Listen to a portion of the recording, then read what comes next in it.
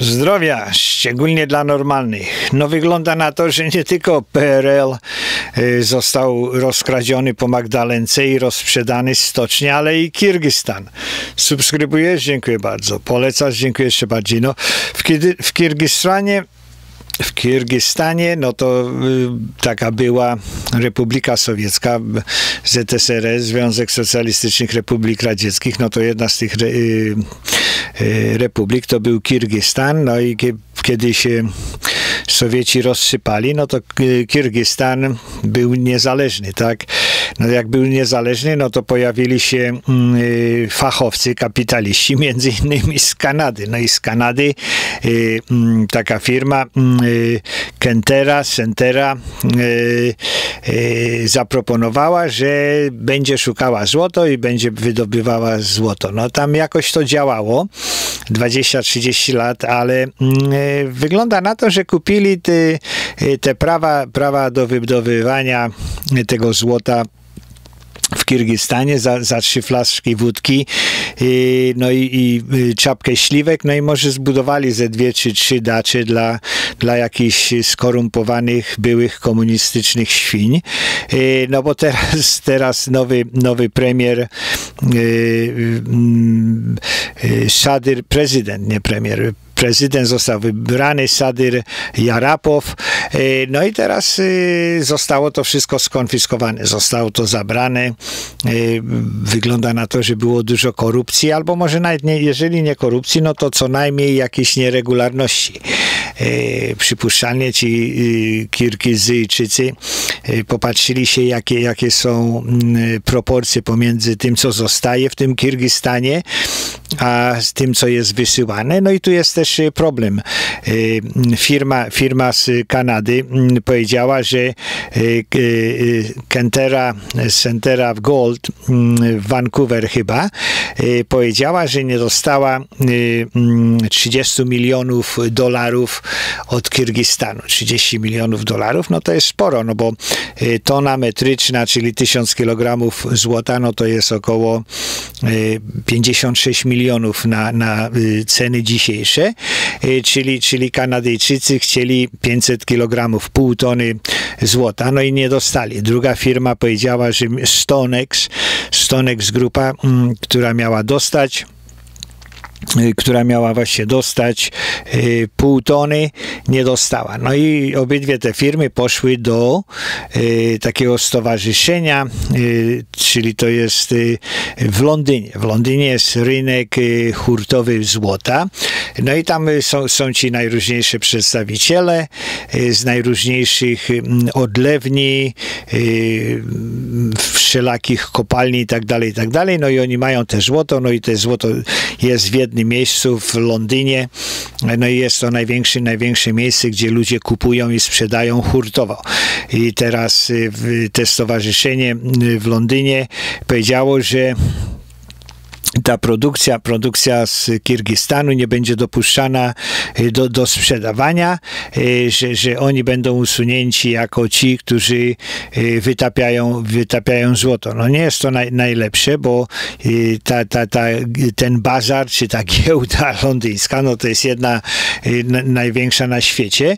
No i jeżeli Kirgistan, Kirgistan będzie usunięty z tej giełdy, no to nie będą mogli sprzedawać ani, ani w, w Szwajcarii, ani w Nowym Jorku, także troszeczkę dostaną y, kopa. No i teraz pytanie jest, co to się tam stało, co tam się stało. No, y, y, Kentera Gold, ona na swojej stronie, no to pisze, że oni to poszli do tego biednego Kirgistanu, wsadzili tam 2 miliardy dolarów, żeby, żeby, no bo to jest w jakichś takich wysokich, wysokich górach, i wysokich górach, gdzie tam ciężko jest się dostać, ciężko coś wydobyć.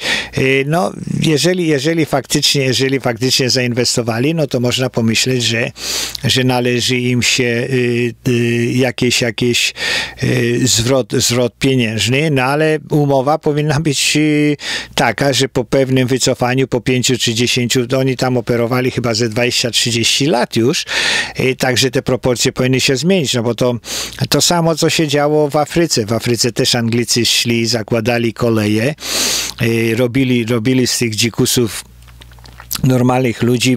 Afryka Południowa to z jakiejś dżungli, ze stepów, y, z, z sawanny robili y, plantacje, nie plantacje, y, hodowali krowy, no a później jak to już pierwsze pokolenie, które doceniało to, że tam biali przyszli i im coś zrobili, no to drugie trzecie pokolenie było złe, że, że nie byli właścicielami. No i tu, tutaj jest to pytanie, w którym momencie jest ten balans, kiedy ta inwestycja pierwsza, ta początkowa powinna się opłacać inwestorom, no bo jeżeli, jeżeli faktycznie ktoś inwestuje, no tak samo jak z lekarstwami, to też, też wszyscy mówią o lekarstwach po, po 5 czy 10 latach, kiedy one są dopracowane, no i tak samo z tą, z tą kopalnią złota, tam faktycznie powinno coś być, no ale, ale tak jak stocznie w Polsce porozprzedawali za darmo, y, stocznia gdańska, to tam przecież te, te wszystkie obszary, co posprzedawali, to yy, wyprzedali metale, nie metale, najróżniejsze rzeczy, y, a później same działki sprzedali za dużo więcej niż, niż to pokupowali. Tak samo y, była ta, ta jakaś taka fabryka kabli y, pod Warszawą, w Ożarowie pod Warszawą. No i Francuzi kupili. Te kable tam produkował PRL przez 10, 20, 50 lat. Francuzi przyszli, mieli przejąć tę tą produkcję kabli i zapewnić y, y, prac, pracę pracownikom tam ile pracowało 100, 200 tysiąc osób. No to po pewnym czasie to wszystko powywalali ludzi na, na twarz, maszyny albo albo pokasowali, albo wysłali. Y, pole zaorali, no i po paru latach sprzedali to na jakieś y, y, mm, sklepy czy inne mole, takie galerie, galerie sprzedaży, pobudowali budynki. Także, także to chyba jest to samo. Ludzie, ludzie mm, kopalnie, kopalnie tego węgla polskiego, no też, też są mm, no, można się zastanowić, kto brał pieniądze za to. Pamiętam, że w Polsce też jakaś firma y, pół, półpaństwowa, pół, półprywatna inwestowała w firmę, czy tam w kopalnię złota w Kanadzie. Nie wiem, czy to nie jest ta sama firma, no ale coś, coś jest y, y, podejrzanego. No, ten londyńska, londyńska mm, londyński rynek złota zawiesił Kirgistan y, z, z, z, tej listy. No nie usunął ich kompletnie, nie usunął ich kompletnie, no bo y, starają się, żeby to wszystko się wyjaśniło, co to się działo, jak to się działo, ale mm, y, to będzie duże, duże zagrożenie dla Kirgistanu. No, oni nie mogą sprzedawać. Y, złoto to jest 9%, 9% całego, całego dochodu y, narodowego. No to, to są spore, spore pieniądze, spore y, proporcje. Bank Narodowy przewiduje, że ekonomia będzie wzrastała w Kirgistanie około 3-4%. No tak jak wszędzie upadła, spadła o 9% tylko przez tą panikę 9 19 przez tą y, y, koronę 19, y, no ale za, za dwa lata wróci do, do swojego poziomu. Czy Kirgistan się zastanawia, co to się dzieje po, po tym, jak zamknęli tą, tą kopalnię w Kuntor? No, myślę, że, że się trochę zastanowili. Nawet jeżeli ich wywalą z Londynu, no to oni będą mogli sprzedawać jednak ciągle w Indiach, w Chinach, na, na, na Bliskim Wschodzie. No w Indiach to jest, to jest właśnie też ciekawa sprawa, że tam złoto to ludzie szmuglują. Szmuglują w perukach, szmuglują w, w jeansach, przewożą złoto. Tam jeszcze chyba ten posos, posocjalistyczne cła są od, od, od y, Gandiego, y, bo, bo historie o tym, jak, jak y, Hindusi y, szmuglują złoto do Indii, no to, to, to jest po prostu cyrk. To, to można by było zrobić chyba film na ten temat. Y, no ale to też jest pytanie, dlaczego, dlaczego mają takie cła zaporowe, że, że ludzie muszą szmuglować i, i ryzykować szmuglowanie 10, 20, 50 tysięcy dolarów. No jest ciekawe, czy dlaczego powiedzmy tam w Indiach y, nie ma jakichś takich złotonośnych miejsc. No w Polsce, w Polsce no to złotoryja, y, złotoryja mm, miała dużo złota, no ale to było tam w XIV wieku.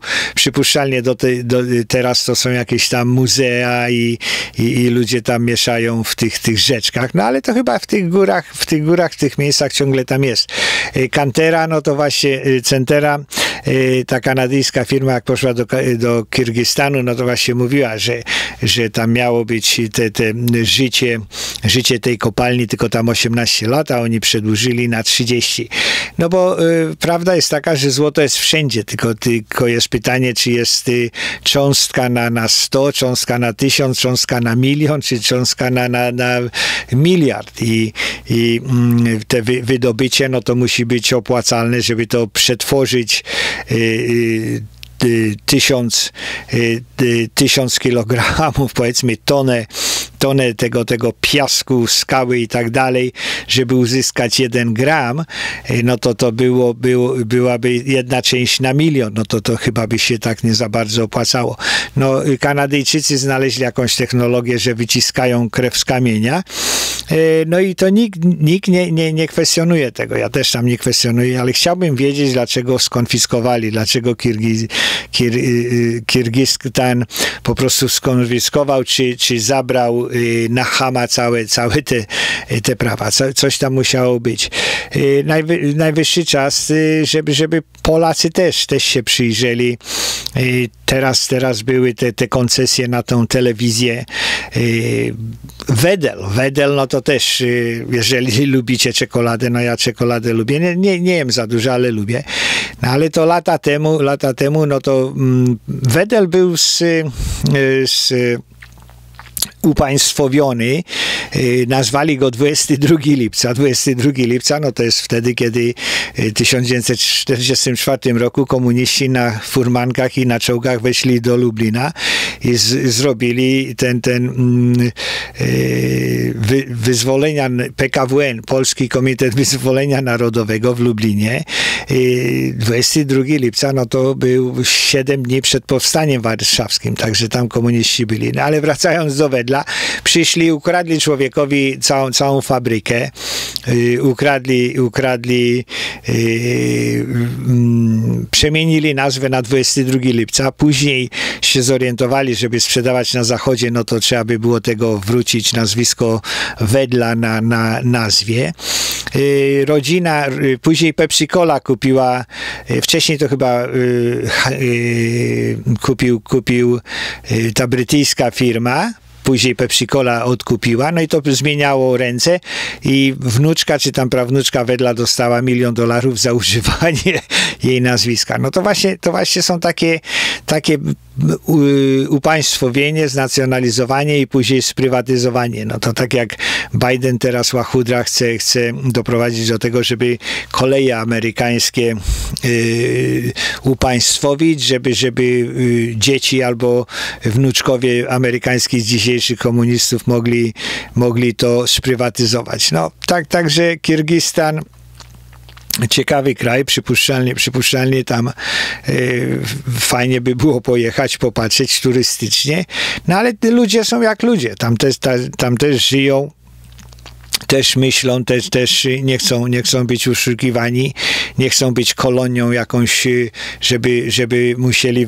wysyłać y, y, 500, 500 kilogramów złota dla, dla firmy, która, która tam zaczęła to wszystko, no i teraz nie wiadomo, co robi. No to to nie jest, nie jest to wszystko prawidłowe.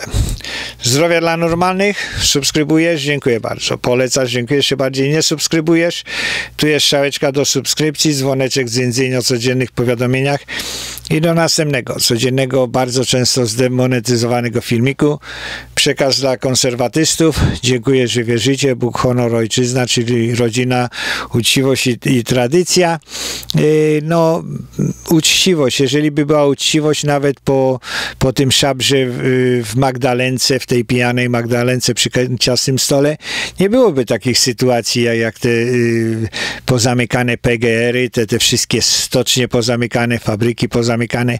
Ludzie, ludzie mieli szansę, ludzie potrzebowali trochę na pewno ale to było wszystko sprzedane za, za, za czapkę śliwek i trzy flaszki, tak samo jak w tym Kirgistanie.